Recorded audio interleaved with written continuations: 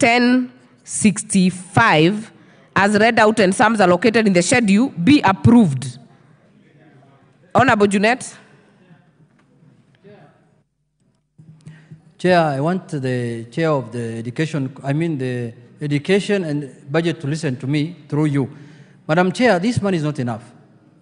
And you saw the other day the confusion that has been created in the admission of universities, students, Madam Chair, where the poor, the rich, the empty handed, all of them were supposed to pay the same equal fees. Parents could not afford. Parents don't have, don't have uh, money. Some of them resorted to selling their goats and their cows and their camels and everything. Madam Chair, this is a State Department that requires more funding. We need to put our money where our mouth is, Madam Chair. So, Madam Chair, that university model, I don't know who brought it to this country, of admissions cannot work. So the chair of budget must relook into this and see if this State Department can get more money if our children are to go to, to, to, to university properly. In the Azimio time, we promised free education from primary to university, but we did not get the chance to, to do it. For those who are there, please provide money now. Thank you, Madam. Honorable Oundo. A uh, chair, I really want to urge the department that we and the entire committee of BAC that we need to look for more resources. The chaos being experienced by admission to universities is really heart-rendering. The many cases, even here as I am here, Chair, I have received a request to pay 161,000 for students from Funyula constituency who are undertaking medicine because the, the funding structure cannot afford to pay for her. And the parents are mere teachers. I do not know where they're going to raise 161,000 between now and Tuesday next week when exams start. We need to streamline this process. Others will go back to the old system where everybody knew how much to be paid and with that certainty. With that few remarks, I support, but we need more, more resources. Honorable Wamuchomba. Thank you, Madam Chair. I followed um, a com- parliamentary committee proceeding, uh, the committee in charge of education of this House, and I picked from that uh, discussions that were there in that uh, about 45,000 children, or rather learners, who have been ad- admitted in the national universities have not been able to uh, afford to report to the universities. And therefore, these are the many children and or learners that are going to revert into TVET institutions. And therefore, we expect that the volume and the numbers of the learners that are going to flock TVETs is, are going to be overwhelming. And therefore, I would appeal to the chairperson in charge of BSc committee to consider adding more money to TVETs so that we can be able to accommodate that very, very serious uh, numbers that uh, we are expecting. Thank you. Honorable Ndindi Nyoro. Honorable Chair, thank you very much. And I agree with the sentiments from all the members. Yes, we need money for TVETs and for the entire sector of education. However, Honorable Junet and Honorable Gathoni Wamuchomba, we have a decision to make as a house. Currently, the education sector is the number one uh, department that we have allocated most of the money. 27% of the entire national government expenditure is going to the education sector. So I want to assure the members that yes, we agree the current modern economic models that will propel economic growth are all based on education and technology. And that is precisely what we are doing. If you compare the money for TVET in the previous years as now, you'll see it's an upward trend. And I want also to assure them close to 700 billion Kenya shillings in this current budget is going to the education sector. Allow me to put the question that the programs under the vote 1065 as read out and sums allocated in the schedule be approved. I now put the question. There are some not exceeding 127 billion 986 million 194,444 Kenya shillings be issued from the consolidated fund to complete the sum necessary to meet the recurrent and development expenditure during the year ending 30th June 2025 in respect of vote 1065. As many as are of that opinion say aye. As many as are of a contrary opinion say nay. The ayes have it. Vote 1066, State Department for Basic Education. I propose the question there are some not exceeding 142 billion 263 million 122,192 Kenya shillings be issued from the consolidated fund to complete the sum necessary to, to meet the recurrent and development expenditure during the year ending 30th June 2025 in respect of vote 1066, the State Department for Basic Education.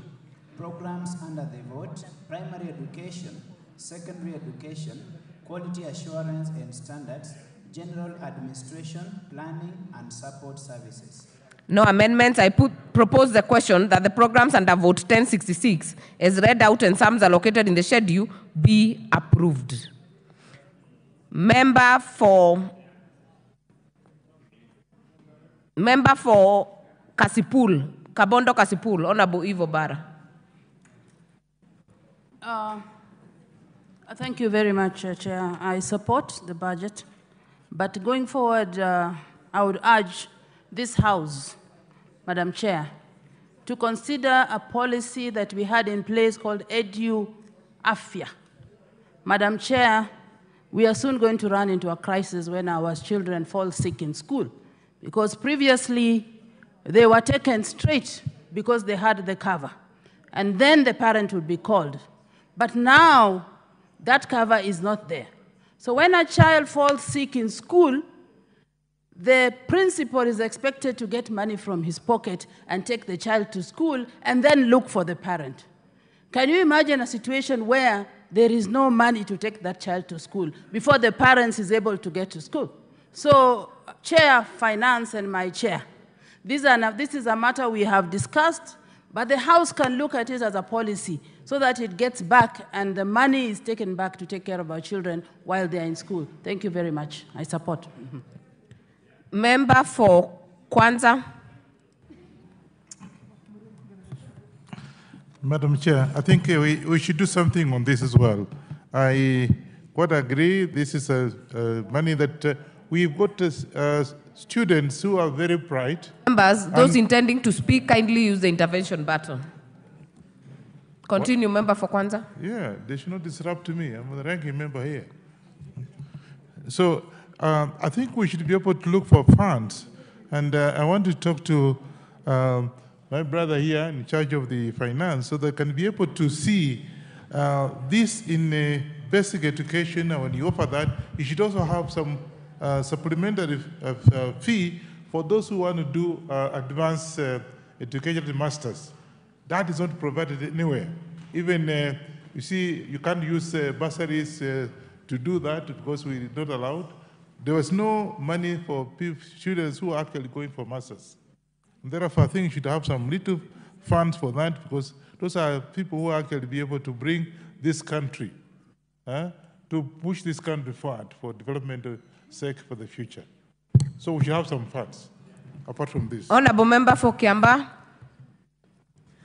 Thank you, Chair. I support and I really want to call upon the ministry to make sure that the 142 billion shillings that has been released to uh, uh, primary schools, that they make sure that this capitation gets to the children on time and to the headmasters on time so that we can be able to make sure that we support our children as much as possible. Thank you, Madam uh, uh, Chair. I support. Honorable Nyenze. Thank you, Chair, for this opportunity. Um, I support, but uh, this, uh, the, this capitation, I mean, especially this money for the primary schools uh, on uh, capitation does not reach the schools in time, and we are always having problems. So it's one thing to have the money in the budget, and another thing for the money to be in the pockets of the, I mean, in the schools. So let the ministry ensure that the money is in the schools in time. Thank you. Honorable member for Sigowet Soin. Um, Thank you, Madam Chair. As I support Madam Chair, I want to bring to the attention of the chairman of the Education Committee, and indeed the Ministry of Basic Education, that there are close to 50 PhD holders teaching in primary schools. I'm not saying this is wrong, but surely, Chair, these people who, are- who hold PhD teaching in primary schools, something should be done so that they can be taken to teach in secondary schools and pro- possibly even in our universities. Thank you, Madam Chair, I support. Didmus? Keep it short. Chair, even as I support this, I want to say this that an area where the Ministry of Education, Basic Education has failed is to ensure that the government's effort to offer free day secondary education and the primary education is being impeded by some a few head teachers who increase fees levies even more than what the parents were paying previously before. So even as we release this money, Honorable uh, Chair, Madam Chair, we should ensure that the ministry officials ensure that free day secondary school remains free. Those who will not have uh, paid uh, lunch fees, lunch levies, they can go and eat at home. Or they can, they can eat what the Honorable Junet Mohamed calls madondo. They can eat madondo and continue to learn. I support the Honorable Chair. Honorable Atandi? Chair, Chair, Chair, I want to support the, uh, these uh, appropriations to Ministry of Basic Education. Uh, Madam Chair, as I, as I support, let me agree with uh, uh, my brother, the MP for Honorable, Honorable Barasa, Didmus Barasa. Madam Chair, free, secondary, day secondary school is free. But it is not free because principals have de- devised a tendency where they charge school fees for males. And Madam Chair, you find that uh, a day school is charging 15,000 shillings for males. This is something which is unrealistic. So I think the education ministry needs to take up this matter and tell uh, principals that you cannot even charge. If they don't have school fee, let them carry their own food. Because in day school, they carry their own food to school. Why are they not allowed to carry their uh, meals to secondary school, yet they are still going back in the evening to eat the, the, the same food at home? So, Madam Chair, this is Thank very you. important, and I think I've, I've already spoken to the chair, though he didn't give me a uh, conclusive answer, but he needs to take it up seriously. Thank you. Honorable Junet? One Chair- minute. Yeah, Chair, one minute. Chair, I think we should not pass money just on paper. Chair, this issue of capitation has been a big problem for schools, Madam Chair. Madam Chair, there are schools that we are basically 20 days to the end of the financial year, and there are schools that are receiving capitation as late as this month.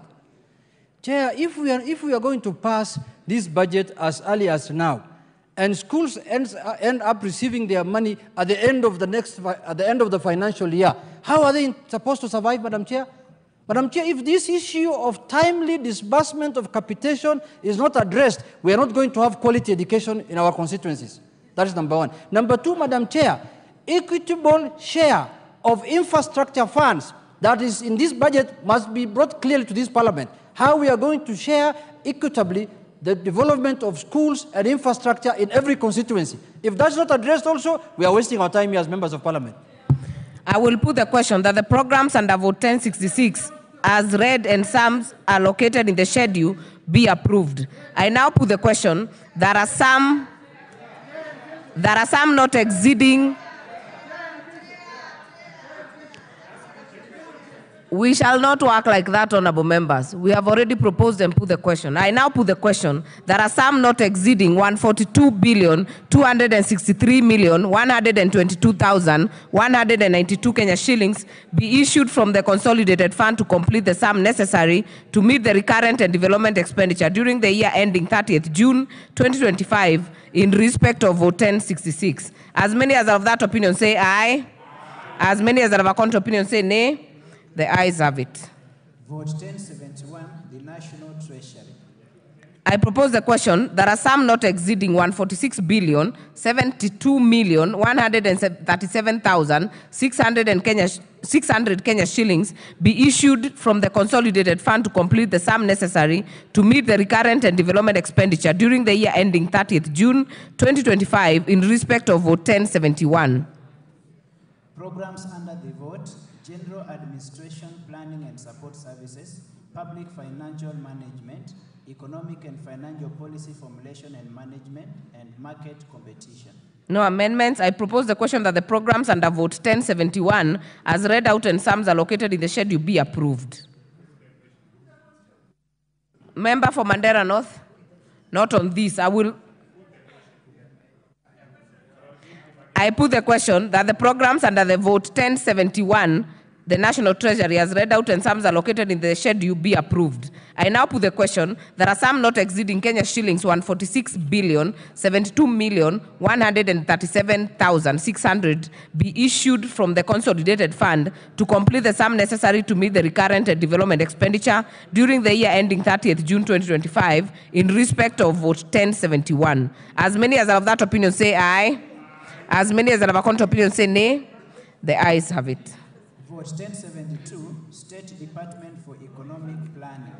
I propose a question that a sum not exceeding 66 billion 782 million 133,355 Kenya shillings be issued from the consolidated fund to complete the sum necessary to meet the recurrent and development expenditure during the year ending 30th June 2025 in respect of vote 1072.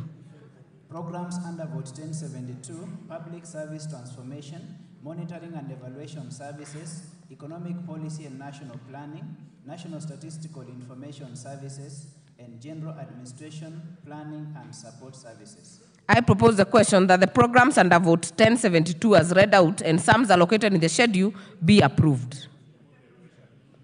I therefore put the question that the programs under vote 1072 as read out and sums allocated in the schedule be approved. I now put the question that a sum not exceeding 66 billion 782 million 133,355 Kenya shillings be issued from the consolidated fund to co- complete the sum necessary to meet the recurrent and development expenditure during the year ending 30th June 2025 in respect of vote 1072. As many as are of that opinion say aye. As many as are of a contrary opinion say nay. The ayes have it. Vote 1082, State Department for Medical Services. I propose the question that a sum not exceeding 102 billion 983 million 407 719 Kenya shillings be issued from the consolidated fund to complete the sum necessary